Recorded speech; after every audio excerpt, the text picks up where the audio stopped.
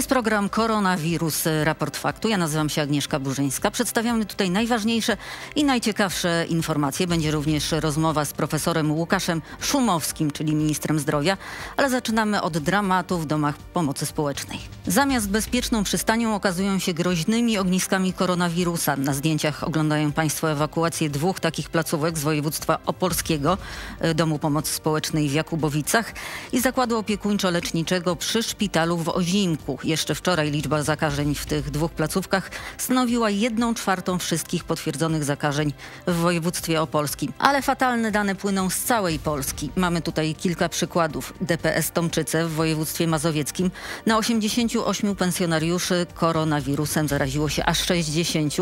Zakażonych zostało także 9 pracowników. DPS Stary Gust województwo mazowieckie to kolejny przykład.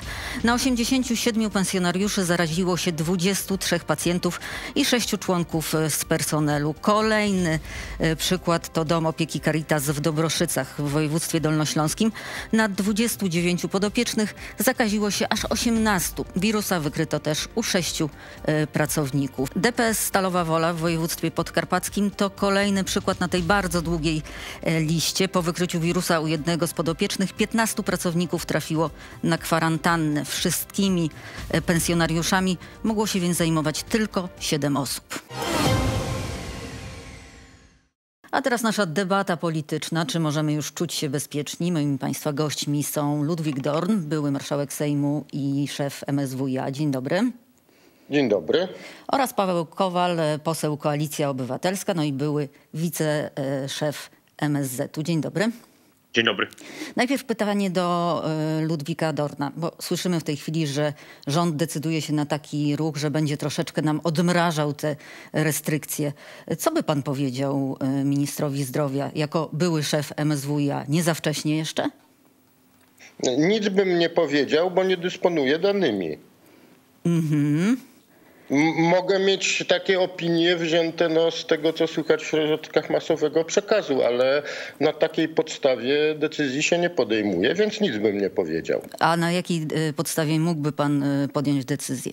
Ale proszę pani, no nie mam informacji, nie mam danych nie spływają do mnie y, tylko do y, y, ministra, ministrów rządu. Tak, ale ma pan, ma pan doświadczenie byłego szefa MSWiA, który może się domyślać o co, o co w tym wszystkim chodzi, bo koronawirus wciąż szaleje w Polsce. Jak, jak sądzę, z punktu widzenia no, yy, yy, rządu istotne, istotne jest zoptymalizowanie decyzji pod dwoma względami. E, po pierwsze bezpieczeństwa epidemiologicznego, e, po drugie e, konsekwencji gospodarczych i społecznych, no, zamrożenia, czy mówiąc językiem odnoszącym się do komputerów, zawieszenia życia społecznego i gospodarczego, które to ma potężne koszty. Także jak rozumiem, to są te dwa czynniki, e, które e, sprawujący władzę muszą brać pod uwagę. I tyle. No i dobrze, że je biorą pod uwagę. A czy podejmują słuszne, trafne decyzje, czy nietrafne, to ja nie wiem i nie jestem w stanie ocenić. Paweł Kowal, pan się zgadza z tą, z tą oceną? Moja opinia jest następująca. Rząd powinien dzielić się z ekspertami, szczególnie z lekarzami, ale także z opozycją, realnymi danymi na, dan, danymi na temat e, tego, jak rozwija się epidemia. To, co w tej no chwili dostajemy, wiemy, to... dostajemy te dane. Nie, nie, dostaj, nie dostajemy. Proszę zobaczyć, jak to działa w Wielkiej Brytanii, gdzie lider opozycji ma stałe briefingi z tymi samymi osobami, które podają informacje premierowi. Stan e, informacji dla e, przywódców opozycji a także dla kluczowych postaci w walce z epidemią, czyli na przykład samorządu lekarskiego i tego typu instytucji, powinien być e, mniej więcej taki sam jak dla szefów rządu i na tej podstawie można podejmować decyzje. Moje odczucie jest takie, że ten kalendarz w tej chwili w całości jest podporządkowany temu, żeby, żeby się odbyły wybory. Czyli krótko mówiąc, to jest tak, że... No to byłoby bardzo cyniczne podejście.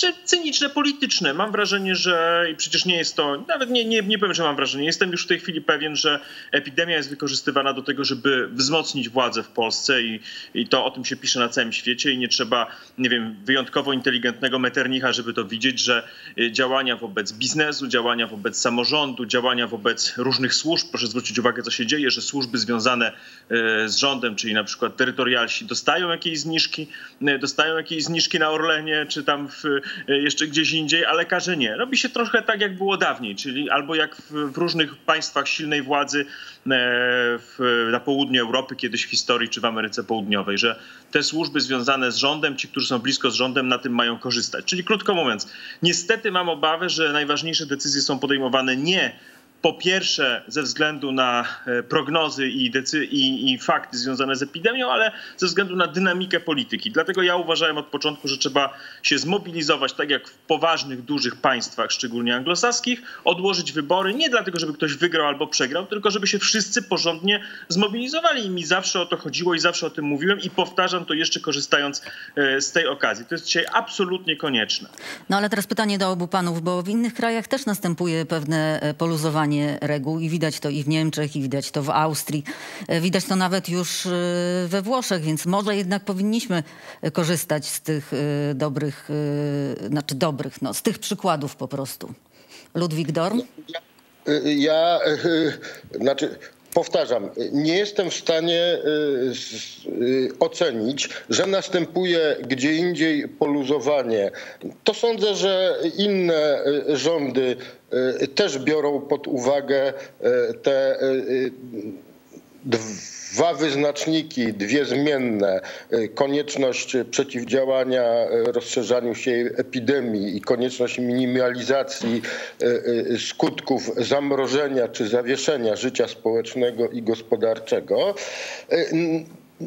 Natomiast y, ja mm, można powiedzieć w stu procentach y, zgadzam się z moim rozmówcą, panem posłem y, Kowalem, że po pierwsze, jeżeli chodzi o opozycję, ale także samorządy, to powinien istnieć taki sam dostęp do informacji dla rządu, jak i dla opozycji. Y, a tego, y, tego nie ma. Y, po drugie, no, w sposób oczywisty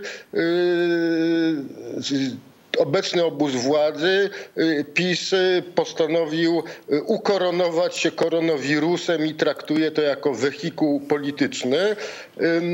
Takich o niewielkiej ilości paliwa w baku, bo no, na tym można jechać nawet szybko, ale, ale krótko, wykorzystując ten moment, że za, ogromna większość społeczeństwa, ludzi, no, może znaczna część z nich, czy nawet większość być krytycznego zdania z różnych powodów o tych, którzy rządzą, ale kiedy mamy stan zagrożenia, to skupia się wokół tych, którzy dzierżą władzę, no bo jacy oni są, tacy są, e, ale przecież nie zmienia się koni podczas przeprawy przez rzekę, w dodatku bardzo głęboką i e, burzliwą. I, I właśnie, a dlaczego, a dlaczego Jarosław Kaczyński tak bardzo prze do tych wyborów i dlaczego tak bardzo stracił jakby e, poczucie takiej empatii, że właśnie w trakcie świąt pojechał na, na cmentarz, który został specjalnie dla niego otwarty, że robi rzeczy, których normalni obywatele robić nie mogą. Znacie prezesa PiSu y, obydwoje. Dlaczego tak jest? Paweł Kowal. Ja nie wiem, dlaczego tak jest. Nie wydaje mi się to dzisiaj najważniejsze. To znaczy, jest to zjawisko, o którym mówi Ludwik Dorn, czyli że ludzie w czasach e, trudnych gromadzą się wokół władzy, bo nie mają innego wyjścia. I są różne scenariusze tego, jak to się w Polsce ułoży. Być może ludzie uważają, że władza Jarosława Kaczyńskiego jest dzisiaj taka, już tak istotna, że zgadzają się na taki podział, że ludziom nie wszystko wolno, ale władzy wolno więcej. Czasami tak jest w społeczeństwach, w czasach, kiedy dominującym, dominującym elementem jest strach na przykład dzisiaj mamy trochę taką sytuację, że dominującym elementem jest strach o własne życie, zdrowie i imienie. To, co chciałbym powiedzieć, kluczową postacią dzisiaj dla tego, co się wydarzy w najbliższych tygodniach, jest e, minister Szumowski i jego sumienie. To znaczy, on ma prawdziwe dane, On jest osobiście lekarzem, jest przygotowany merytorycznie do tego, żeby je oceniać. Jeżeli dzisiaj zapowiada pewne łagodzenie rygorów, to znaczy, że uważa, że może sobie pozwolić na to, żeby przeprowadzić wybory. Ale co będzie za dwa tygodnie, tego nie wiadomo, bo nad wirusem nawet minister Szumowski nie, nie panuje. Proszę pamiętać jedną rzecz, e, o której teraz mówię. Kluczem do sytuacji jest minister Szumowski i jego sumienie. I to na koniec może się okazać, że to on zablokuje przeprowadzenie tych wyborów, bo on jest jedyną postacią dzisiaj w systemie władzy, której nie można usunąć. E, obóz władzy nie może sobie pozwolić na to, żeby usunąć ministra zdrowia, który zresztą ma dość dobrą reputację e, w opinii publicznej, ponieważ w czasie zarazy. No najlepszą przestał... w tej chwili, nawet wyższą niż prezydent i, i premier. Tak, dlatego że on miał genialny instynkt polityczny, bo przecież ostatecznie politycznie także jego, jak wszystkich ministrów zdrowia poprzednich, obciąża słabe przygotowanie służby zdrowia i to, że służba zdrowia w Polsce jest gorzej przygotowana, e, jeśli chodzi o ochronę samych lekarzy, pielęgniarek, personelu i tak dalej, niż w innych krajach. Mamy na to już dzisiaj twarde dane, ale minister Szumowski w odpowiednim momencie zrozumiał, że ma nie mówić o polityce, ma mówić o epidemii, ma się trochę inaczej zachowywać niż pozostali przedstawiciele obozu władzy. Wysforował się na kluczową postać, która jest umieszczona w kluczowym miejscu administracji, czyli jest ministrem zdrowia i decyduje. I to wszystko tak naprawdę, ta decyzja, ta decyzja zapadnie na linii między ministrem Szumowskim, a właściwie sumieniem ministra Szumowskiego na początku maja, jeśli chodzi o wybory, a e, prezesem Jarosławem Kaczyńskim. Natomiast... To dajmy jeszcze coś powiedzieć e, marszałkowi Ludwikowi e, Dornowi. Panie marszałku, pan się zgadza? No nie do końca, bo ja bym y, y, wszystkich jajek nie kładł do jednego e, koszyka i nie zawieszał całej nadziei na to, że unikniemy tego absurdu, jakim są wybory w trakcie epidemii na panu ministrze Szumowskim. Ja przypomnę, że jeżeli chodzi o y, datę wyborów, y, to moim zdaniem 10 maja jest już nieaktualny, prawda? Bo najpierw zablokowało to około 120 samorządowców y, w pierwszej dekadzie kwietnia, deklarując, że nie będą uczestniczyli w przygotowaniu wyborów. Co wybory w trybie normalnym, że no, obywatele idą do urny prawda, wychodzą z domu, idą do urn, e, zablokowało. E, ostatecznie e, stanęło na tym, że wybory mają być czysto korespondencyjne, ale jeżeli Senat wykorzysta, a zapowiedział, że wykorzysta całe 30 dni, no to e, nie będą mogły się one odbyć 10 maja i nastąpi ich przesunięcie na 17 maja. No, tutaj zmieniła się jak gdyby definicja sytuacji, bo jeżeli wybory mają być w całości korespondencyjne, to Y, to, co powie pan minister Szumowski, a powie zapewne, że wszystko w porządku. Można wrzucać koperty do tych skrzynek pocztowych urn to kwestia zagrożenia zdrowia i życia schodzi na nieco dalszy plan jako argument polityczny pod adresem całości społeczeństwa. No rzeczywiście, rzeczywiście minister Szumowski coś takiego e, sugeruje, że te wybory korespondencyjne e, nie szkodzą, bo to jest tylko kwestia wrzucenia kopert. Niestety musimy no, e, już kończyć. minister Szumowski bardzo się precyzyjnie Ostatnie wyraża. słowo, Paweł Kowal. Tak, Szumowski mówi jednak, że to jest mniejsze zagrożenie. Czy on nie mówi, że nie ma zagrożenia, bo jest przecież zagrożenie dla listonoszy, dla, ko, dla komisji wyborczych i tak dalej, i tak dalej. Ale to, co chciałbym, żeby zostało z mojej powiedzi, kluczowy jest dzisiaj plan otwarcia gospodarki, tylko nie robiony pod wybory, tylko poważny plan przedstawiony społeczeństwu, kiedy, które sektory, ponieważ ludzie bardzo na to czekają. I jeśli dzisiaj jest coś naprawdę ważnego, to to jest ważnego w Polsce. Bardzo dziękuję. Niestety musimy już kończyć. Ludwik Dorn i Paweł Kowal byli moimi Państwa e, gośćmi. A za chwilę te wszystkie pytania, które e, zadali moi goście, zadamy e, profesorowi Łukaszowi Szumowskiemu czyli ministrowi zdrowia. Mam nadzieję, że jest już z nami e, nasz kolejny gość, czyli profesor Łukasz Szumowski, minister zdrowia. Dzień dobry. Dzień dobry pani, dzień dobry państwu. No to świetnie, że się e, słyszymy. Na czym będzie polegało to odmrażanie e, gospodarki w zamian za zakrywanie twarzy i znaczy właściwie nosa i ust? To nie jest e, w zamian, tylko mm, e, zakrywanie wynika z e, coraz szerszego, coraz szerszego obecności, szerszej obecności COVID-u w Polsce. wynika z tego, że coraz więcej osób po prostu może być chorych i chodząc po ulicy w miejscach publicznych, w środkach transportu publicznego mogą nie wiedzieć o tym i mm, transmitować wirusa innym. To w takim razie może jest za, jeszcze za wcześnie na to odmrażanie gospodarki. Może powinniśmy jeszcze poczekać. Znaczy no pan tutaj, powinien poczekać. Tutaj wiemy, że mm, e, różne kraje e, tą gospodarkę odmrażają w ilości przypadków na milion mieszkańców znacznie wyższą niż e, w Polsce. I oczywiście trudno powiedzieć, że my będziemy odmrażali gospodarkę. Może to jest za duże słowo. Przymierzamy się do pewnych bardzo delikatnych i bardzo takich um, ostrożnych. No właśnie jakich? deregulacji, no to będziemy ogłaszali pod koniec tygodnia. Ale ja rozumiem, że jeszcze nie ma mowy o tym, żebyśmy mogli pójść do fryzjera, kosmetyczki nie, nie, czy do nie, restauracji. Nie, zdecydowanie za wczesne byłyby to ruchy i tutaj nikt takich ruchów nie planuje. Wiemy, że y, to powoli wracanie do takiej rzeczywistości nowej, no bo to nie będzie normalność taka, którą znamy, bo nie ma żadnych danych, żeby epidemia zniknęła w, w najbliższym czasie, żeby e, epidemia zniknęła w wakacje. Teraz, czy wakacje, czy jesień, podejrzewam, że sytuacja epidemiczna będzie bardzo podobna. Dopóki nie będziemy mieli szczepionek, dopóki nie będziemy e, mieli leków, my musimy nauczyć się trochę żyć w czasie epidemii po prostu.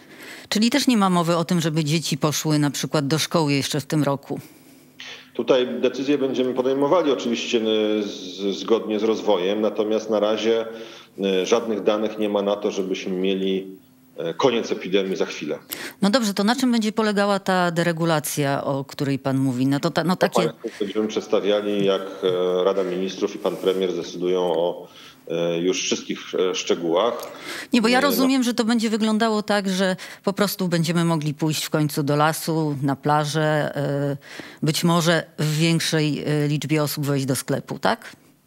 Myślę, że na pewno tutaj będziemy się przymierzali do pewnych takich ruchów, ale tak jak powiedziałem, no, no nie mam w tej chwili przed sobą rozporządzenia Rady Ministrów i nie ma jeszcze go mm, konkretnych zapisów. W związku z tym jest za wcześnie, żeby o tym mówić E, zanim te wszystkie szczegóły nie zostaną dograne. No to dobra, zanim będziemy rozmawiać o tym, co będzie, porozmawiajmy o tym, co jest, i, czyli na przykład o tragicznej sytuacji e, domów pomocy społecznej. Tam w tej chwili trwają ewakuacje, trwa też odkażanie, przynajmniej próba odkażania. Tylko panie ministrze, dlaczego tak późno? Czy na początku Szanowni, epidemii nie można, redaktor. czy coś było zaplanowane? Czy ministerstwo dało jakieś wytyczne wojewodom? Oczywiście, że tak. Natomiast ministerstwo dużo wcześniej już dało wytyczne do domów pomocy społecznej. Natomiast ja chciałbym tutaj podać pewne fakty. Mamy 800, blisko 30 domów pomocy społecznej, z czego sytuacja związana z COVID-em, trudności głównie natury kadrowej, jest w 20 e, bodajże domach, czyli na 830, 20 domów pomocy społecznej ma problemy. E, mówmy o konkretach, o konkretnych liczbach. I oczywiście to, to jest środowisko, które jest najbardziej narażone na ryzyko powikłań, to oczywiście wiemy. Stąd przeniesienia pacjentów do szpitali, stąd działania bardzo szybkie i bardzo sprawne większości wojewodów w zakresie opieki nad tymi pacjentami, pensjonariuszami, bo to nie są pacjenci e, medycznej. Stąd e, cała, cała działalność Narodowego Funduszu Zdrowia z lekarzami POZ, którzy się opiekują domami pomocy społecznej. E, I tak jak pod, pod, powiedziałem, skala zjawiska to jest 20 na wczorajszy dzień, 20 DPS-ów na 830. No tak, tylko panie ministrze, to trwało trochę, zanim właśnie, zanim pojawiła się po pierwsze pomoc y, w tych miejscach, nie po drugie, trochę, po drugie odkażanie. Czy ktoś tutaj po prostu nie zawalił czegoś? Znaczy, to, to nie trwało trochę. Znaczy, proszę podać y, jakieś y, przykłady, co to znaczy trwało, bo y, sprzęt ochrony osobistej został wysłany przez wojewodów do DPS-ów, bo zalecenia o braku odwiedzin już poszły bodajże dwa tygodnie chyba temu, czy trzy tygodnie temu Ministerstwa rodziny i polityki społecznej. I oczywiście, jak w każdym kraju, który jest dotknięty COVID-em, dramaty i problemy wśród osób starszych są powszechne. Ale jeżeli popatrzymy na 80 tysięcy pensjonariuszy w DPS-ach, jedynie w 20 DPS-ach w tej chwili mamy problem covidowy. To pokazuje skalę zjawiska. Ona nie jest gigantyczna, to nie jest y, Armagedon, jak to jest przedstawiane w mediach. Oczywiście w tych DPS-ach, w których jest COVID, jest to bardzo poważny problem, ale to dotyka po prostu ludzi. Każda, każde zachorowanie, każda um, infekcja COVID-em u osób starszych jest tragedią swego rodzaju, bo ryzyko e, zgonu, ryzyko powikłań poważnych jest niestety wyższe. Ale w skali całego kraju 20 DPS-ów na 830 to jest po prostu fakt. Panie ministrze, pan powiedział jakiś czas temu, że ta epidemia prawdopodobnie będzie trwała jeszcze rok. Czy to znaczy, że przez ten rok będziemy zakrywali twarze, będziemy, będziemy się tak. samoograniczać? Być może tak, trudno powiedzieć, jak będzie przebiegał proces wynajdywania leków, jak będzie przebiegał proces immunizacji społeczeństwa. E, nie ma żadnych danych na to, żeby na wakacje, na jesieni, e, późną jesienią, żebyśmy mieli sytuację epidemiczną bezpieczną, opanowaną bez wirusa.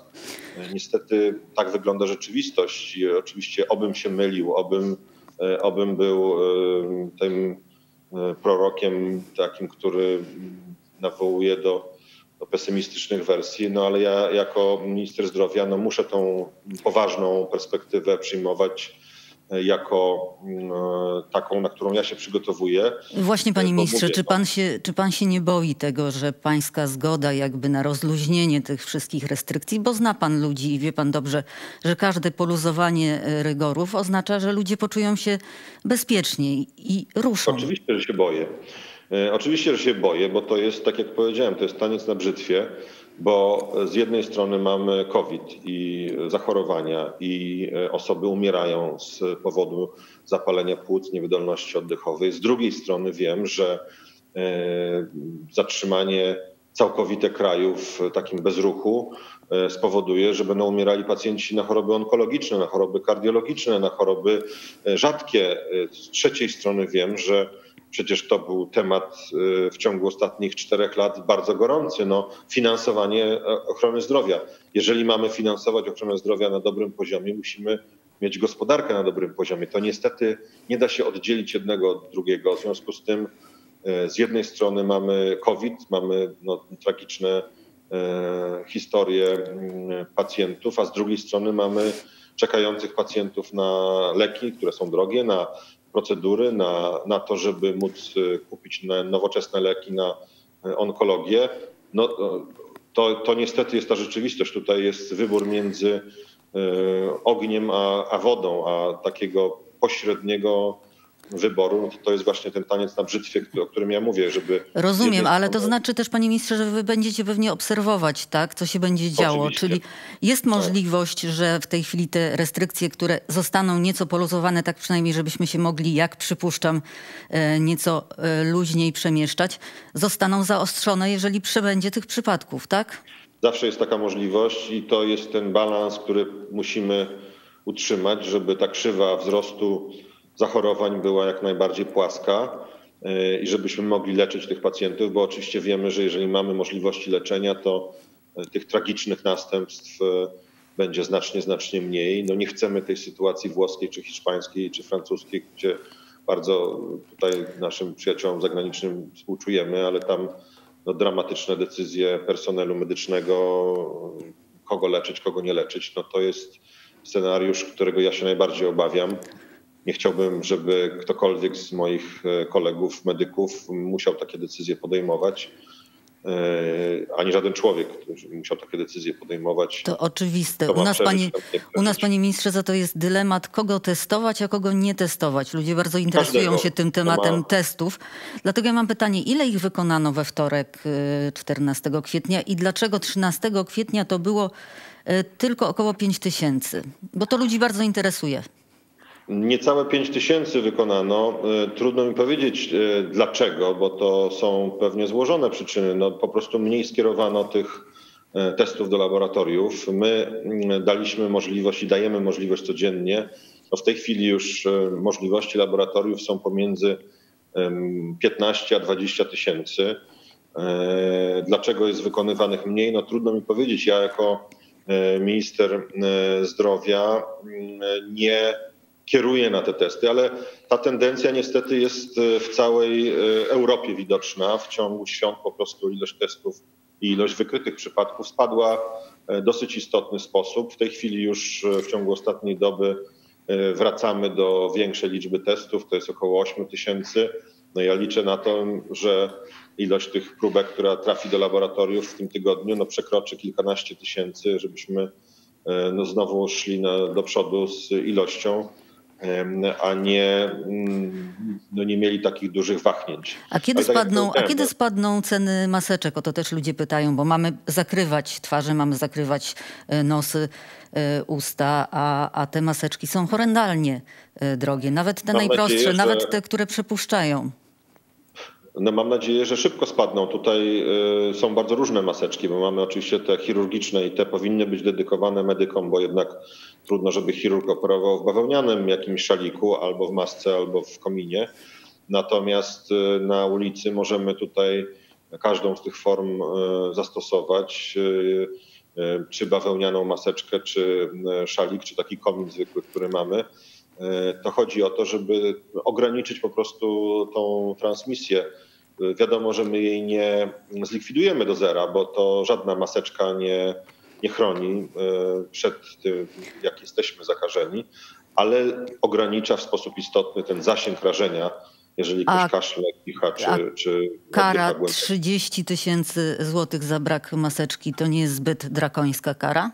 Tutaj to nie jest tak, że ma być kara 30 tysięcy złotych. 30 tysięcy to jest maksymalna kara za łamanie prawa, ale oczywiście policja tutaj stosuje e, pewną odpowiedzialność proporcjonalną, więc e, jestem przekonany, że 30 tysięcy to nie jest ta e, kara, taka sama jak za wychodzenie z kwarantanny czy z izolacji, gdzie wiemy, że jak ktoś notorycznie łamie zasady kwarantanny czy izolacji, to może otrzymać te 30 tysięcy. Bardzo dziękuję. Moim Państwa gościem był profesor Łukasz Szumowski, minister zdrowia. I niestety e, wszystko ma swój kres, wszystko ma swój koniec. Kończymy dzisiaj. To był program Koronawirus, raport e, faktu, a ja zapraszam na jutro.